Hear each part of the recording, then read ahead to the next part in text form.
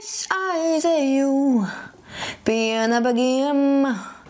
Tā, mēs esam uh, studijā ar uh, manu suni, kurš mēģina atbalstīt procesā, kas saucās video ierakstīšana no mājām. Bet, principā, es esmu redzējis ļoti daudz uh, video šīs dienas, kur cilvēki vingro un darbojas un tā tālāk, un aicina darboties, un visādas programmas, un kas tik nav. Un tāpēc es izdomāju, ka nu, es arī, es arī varu pievienoties uh, šim te pulciņam. Bet personīgi domāju, jāsāk ir ar kaut ko pavisam vienkāršu, kas ir līdzsvars. Šis būs ļoti labs arī tiem, kam ir bērni mājās. Nu labi, un tagad pievērsīsimies vingrinājumu izpildēji. Sauzi. Līdzsvaru var trenēt uz visām virsmām, kas ir nelīdzenas. Tātad, principā, es varētu ņemt pufu, mēģināt nostāvēt uz tā, tikai, nu, viņš ir tāds ļurīgs. Tāpēc, bet, nu, ok. Tad vēl, ja, no, nu, uz pufu es to nedarīšu. Bet, ja, piemēram, var ņemt arī no divāniem tos lielos spilnus, stāvēt uz tiem, var ņemt parastos spilnus. Nevar sakot nelīdzenu virsmu. Var arī speciālā iegādāties nav viņas nemaz tik dārgas. Man ir šāds. Tātad pirmais, varam pamēģināt nostāvēt vienkārši tāpat, ar aizvērtām acīm uz grīdas. Vismaz 30 sekundītes.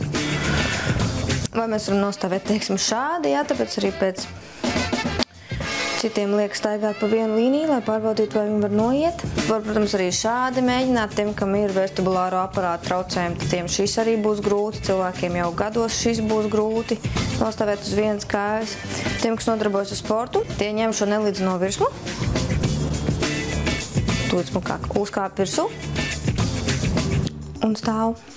Ar acīm vaļā tas tā kā pirmais līmenis. Kā ir aizmugurē saliekta, var arī aizvērt acis. Jo, principā, ļoti labs potīšu saitēm, ļoti labs dziļajai muskultūrai gar mugurkaulu, ļoti labs sajūtas telpā trenēšanai. Kad mēs trenējam līdzsvaru, mēs trenējam tādus muskulīšus, kurus jūs varbūt savu mūžu nebūsiet dzirdējuši, saucās multifīdijus. Un, reku, piemēram, ja šeit ir mugurkauls, tad tie muskulīši iet starp kriemelīšiem procesu transversus. Es pareizi atceros. Un Nu, lūk, un, tad, un tie muskulīši ieslēdzās tad, kad ir jānotur līdzsvars. Eh, un viņi ļoti labi mugurkaula stabilizācijai, arī tiem, kam ir bijušas protrūzijas, lai, lai, lai, lai, lai, lai, lai uzlabotu propriorecepcijas izjūtu telpā, lai uzlabotu mm, koordināciju kaut kādā ziņā.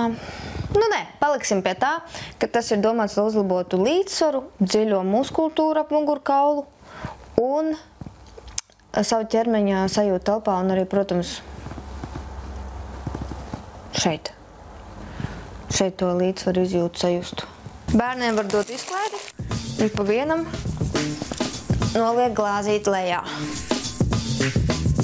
Ja mēs pieliekam kaut kādas kustības, vēl neat, nu, tas ir daudz grūtāk. Jo vairāk tu kusties uz tās nelīdzinās virsmas, jo trakāk ir. Tāpēc arī ir tad, āk, Dievs, cik man labi sanāk. Un mēs būvējam šo torni. Jā, šādi te. Var jau arī uz citu virzienu. Šis bija nesmuk. Redzējāt, kā cels iegāja? Tas nav vajadzīgs. Un pēc tam savācam pa vienai glāzītei.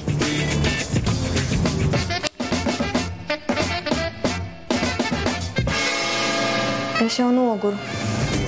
Nosaucīt, cik viegli tev likās tas vingrinājums no 1 līdz 10. 5. Agnēta, viņa draudziņa nākamreiz mēģina atrādīt sev visu, visu augumā. Tu esi gan izskatīga meitene, lai rādītu arī galvu. Jā, nekāda problēma.